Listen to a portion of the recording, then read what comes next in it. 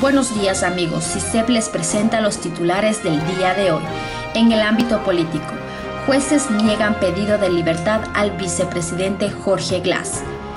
Jueces de la Corte Nacional de Justicia negaron este domingo el recurso de habeas corpus al vicepresidente de la República, Jorge Glass Espinel, detenido desde el 2 de octubre en la cárcel 4 de Quito, acusado del presunto delito de asociación ilícita por el caso Odebrecht Ecuador.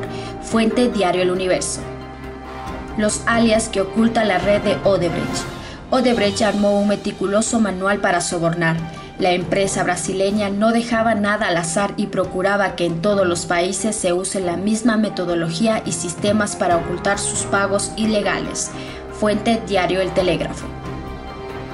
En el ámbito de actualidad, Refinería.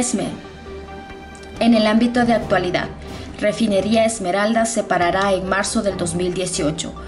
Este paro prolongado se realizará para arreglar los problemas identificados en la unidad de fraccionamiento de craqueo catalítico, considerada el corazón de este complejo industrial. Fuente Diario El Comercio. El abuso sexual en colegios marca debate por pregunta 7. Pregunta 7 sobre el abuso sexual a los niños. ¿Está usted de acuerdo con enmendar la Constitución para que nunca prescriban los delitos sexuales en contra de los niños y adolescentes según el anexo 4? Fuente Diario La Hora. La época lluviosa se aproxima en la Sierra Ecuatoriana. El periodo de transición de la época seca de la lluviosa está por terminar en la región andina.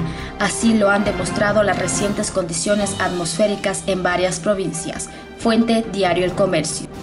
En el ámbito deportivo, Federación Colombiana rechaza supuesto arreglo de empate con Perú. Presidente de la Federación Colombiana de Fútbol rechazó este domingo las versiones sobre un supuesto acuerdo entre los integrantes del Combinado Nacional y de Perú para sostener en los últimos minutos el empate de 1 a 1 en el cierre el martes de las eliminatorias mundialistas de Sudamérica. Fuente Diario El Universo. Amigos, les esperamos el día de mañana. Estas fueron las noticias del día de hoy.